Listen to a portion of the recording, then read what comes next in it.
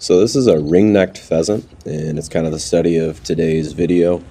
Um, going to be building something based off of one of these, the tail portion of them. Uh, my brother was able to acquire one of these during hunting season. They aren't typically all over the place like this and just freely roaming around on the road, but uh, when it's not hunting season, it seems like they could really care less about us or anything else. Uh, pretty cool bird, very interesting look to it and we're going to see what we can do just to kind of memorialize my brother's first pheasant. So here we go. Hope you enjoy the video.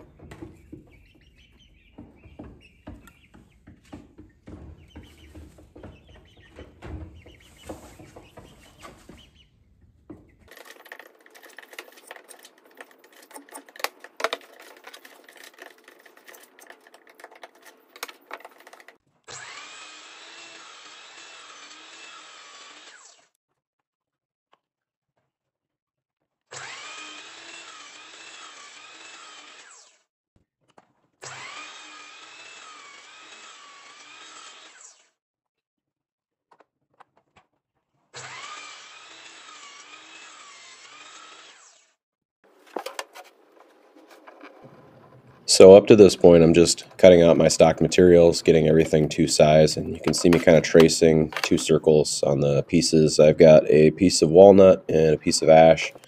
My plan is to make these two circles, um, one one's going to be a lot smaller than the other, and they're going to fit on top of each other. We're going to see how that looks. And so at this point, I'm just uh, cutting this piece in half. That way I can get it down to a smaller size because it's it's thick and chunky. It's like an inch and a quarter or something like that and that's much too big for what I'm looking for. And so I'm just using this resaw method like you've seen me use in a couple other videos. Still don't have a bandsaw yet, uh, working on it. But yeah, just cutting this piece in half and then we're going to size it down to that circular shape that you saw before.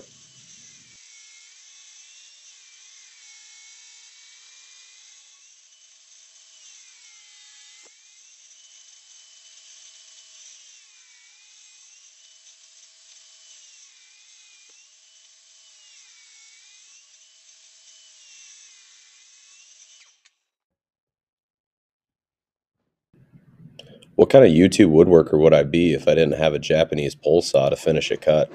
Well, here you go. Even though this pull saw is probably not made in Japan, it's probably not authentic. Yeah, it still works. So it's fine.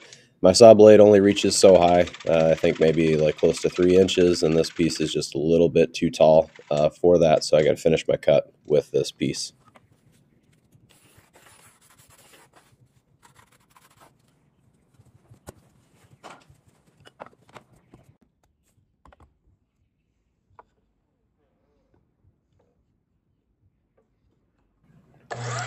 So what you're about to see me do here, this is how I'm cutting down my circle. I don't have a circle jig um, or anything like that. I looked at using my router. I didn't like any of the methods that I was possibly thinking about doing. And while this worked for me, I, I don't recommend this as like a super safe way to do this. Um, you know, it's, it's in a sped up version, but you could kind of feel it at times um, trying to pull. Uh, I don't know being able to just take down just a little bit at a time um, with the way that this kind of saw works was helpful but I, I don't think this is the safest application um, for this so maybe maybe try a different kind of jig or something else because I, I can see this going wrong and trying to pull you into the saw blade if you don't have a really good grip on it.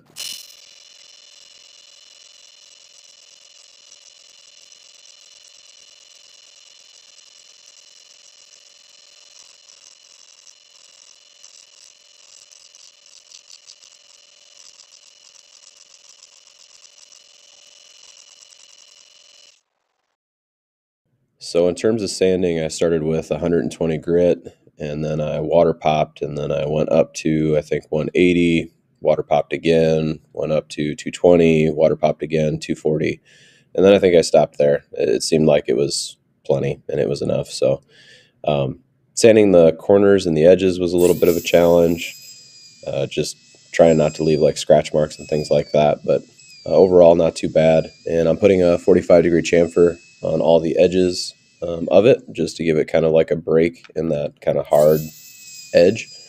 And I think it looks pretty nice. Again, the ash kind of burns a little bit, But if you take off some and then come back around and do just a really fine pass at the end, it, it does pretty good.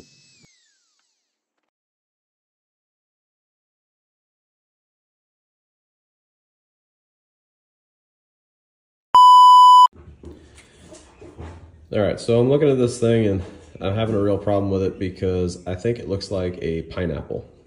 And I don't really want it to look like a pineapple. I didn't think it would look like that when I designed it. But I think what I'm gonna do is I'm gonna take this off and I'm just gonna go with this because I, I really like the way that this is looking, like the figuring of the wood. And I think I'm just gonna recess the feathers in behind. Uh, I think it'll still end up looking really cool. I'll figure out something for that. Worst case scenario, I made a coaster um, out of ash, I guess. Um, but I still think I'm gonna add this in somehow. I haven't figured that out yet. But uh, we're gonna pivot our plan here. So at this point, I'm just recessing a groove in the back of this piece just so that it can accept the quills of the feathers. And then I'm going to hot glue them into place, and that does a pretty good job of holding them there. I couldn't think of really what else I could use to put them in there. I guess epoxy would have worked, but hot glue is a lot cheaper.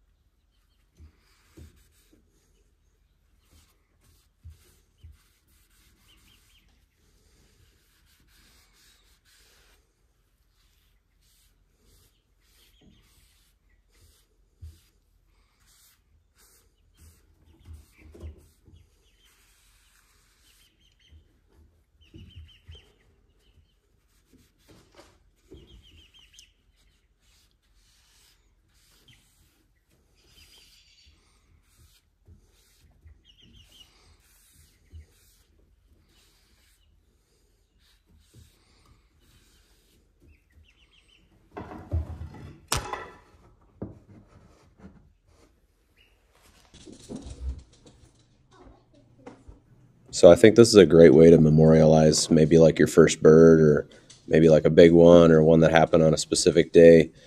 Uh, pretty cheap project, probably less than $10, just time. Time is what it takes. So here's it next to a turkey mount and in a nice little setting with some deer antlers. And congratulations to my brother and his first bird. Hope you enjoy this, brother.